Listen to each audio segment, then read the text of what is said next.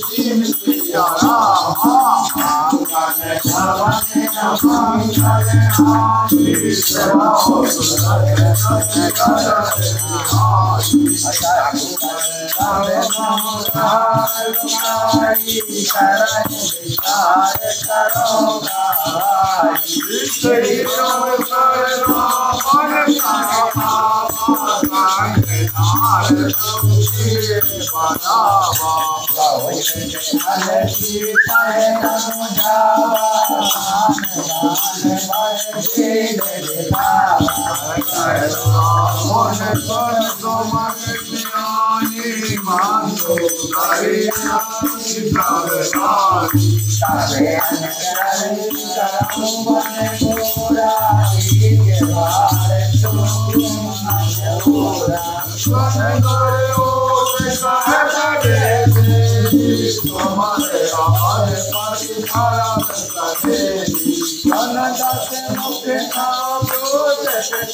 जगता